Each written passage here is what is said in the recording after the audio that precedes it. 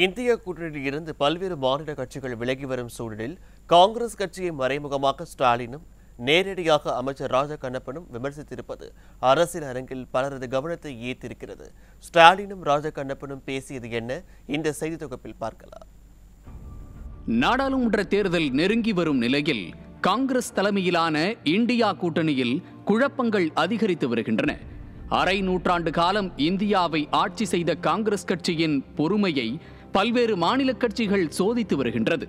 மேற்கு வங்கத்தில் மம்தா தனித்து போட்டியிடுவதாக அறிவித்து முதல் நெருக்கடியை கொடுத்தார். அவரைத் தொடர்ந்து ஆம் ஆத்மி கட்சியும் தனித்து போட்டியிடப் போவதாக அறிவித்தது. மம்தாவும் அரவிந்த் கெஜ்ரிவாலும் உள்ளே வெளியே என ஆட்டம் காட்டிக் கொண்டிருக்கையில் பீகார் முதலமைச்சர் நிதிஷ்குமாரும் அவர்களும் சேர்ந்து கொண்டு காங்கிரசுக்கு தண்ணி காட்டத் தொடங்கியுள்ளார். இந்தியா கூட்டணியின் முதல் மூன்று விக்கெட்டுகள் விழுந்துவிட்ட நிலையில் நான்காவது விக்கெட்டாக களமிறங்கி தன் பங்கிற்கு காங்கிரசின் முதுகில் சத்தமில்லாமல் குத்திக் கொண்டிருக்கிறார் பொம்மை முதல்வர் ஸ்டாலின். அண்ணா நகரில் நடந்த மொழிப்போர் தியாகிகள் நினைவேந்தலில் பேசிய ஸ்டாலின் ஆயிரத்து தொள்ளாயிரத்து அறுபத்தி ஏழிற்கு பிறகுதான் தமிழ்நாட்டில் தமிழ் ஆட்சி தொடங்கியதாகவும் தமிழர்களுக்கான ஆட்சியாக அது தொடர்வதாகவும் பேசினார். இந்த ஆயிரத்தி தொள்ளாயிரத்தி அறுபத்தி ஏழு தேர்தல் தான் திராவிட முன்னேற்ற கழகம் முதன் முதலா ஆட்சி அமைச்சது. தமிழகாக்கும் போராட்டத்தை முன்னெடுத்த இயக்கமான திராவிட முன்னேற்ற கழக ஆட்சி அமைந்த பிறகுதான் தமிழ்நாட்டில் தமிழாட்சி தொடங்குச்சு. அது தமிழர் ஆட்சியா தொடருது. ஸ்டாலின் சொல்லிய கூற்றுப்படி பார்த்தால் ஆயிரத்து தொள்ளாயிரத்து அறுபத்தி ஏழுக்கு முன் தமிழகத்தில் இருந்த ஆட்சி தமிழர்களுக்கான ஆட்சி இல்லை என்றுதான் புரிந்து கொள்ள முடிகிறது. ஸ்டாலினின் பேச்சை கேட்ட காங்கிரஸ் தொண்டர்கள் ஆயிரத்து தொள்ளாயிரத்து அறுபத்தி ஏழுக்கு முன்னர் தமிழகத்தில் தொடர்ந்து ஆட்சியில் இருந்தது காங்கிரஸ் கட்சிதான். தமிழகம் இன்றளவும் பெரிதும் கொண்டாடும் பெருந்தலைவர் காமராஜரின் ஆட்சி காலமும் அதுதான்.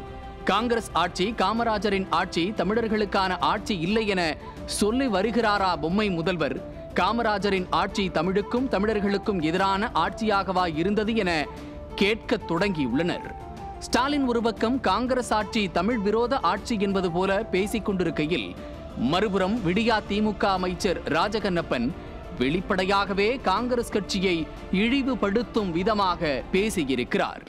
இந்தியா கூட்டணி என்பது காங்கிரஸ் கட்சி பெரிய கட்சி. நூறு நூற்றி இருபது ஆண்டுகளாக நம்ம ம- மறுக்கலை.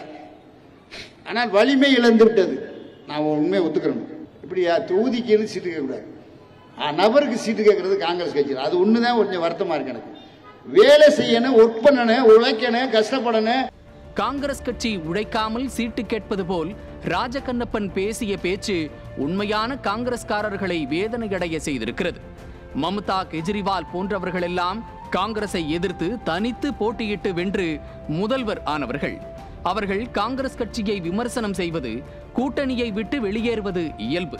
ஆனால் பொம்மை முதல்வர் ஸ்டாலின் இரண்டாயிரத்து இருபத்தி ஒன்று சட்டமன்ற தேர்தலில் காங்கிரஸ் கட்சியின் உதவியோடு காங்கிரஸ் கட்சி தொண்டர்களின் உழைப்பை சுரண்டித்தான் முதல்வராக வெற்றி பெற்றிருக்கிறார். அப்படிப்பட்ட ஸ்டாலின் காங்கிரஸ் கட்சியை விமர்சிப்பது கூடவே இருந்து குழிப்பறிப்பது போல உள்ளது என காங்கிரஸ் கட்சி தொண்டர்கள் புலம்பி வருகின்றனர். கள சூழலை கவனிக்கும் அரசியல் விமர்சகர்கள் இந்தியா கூட்டணியில் நான்காவது விக்கெட்டாக திமுக இருக்கலாம் அல்லது தேர்தலுக்கு பின்னர் திமுக கூட்டணி தாவலாம் என கருத்து தெரிவிக்கின்றனர்.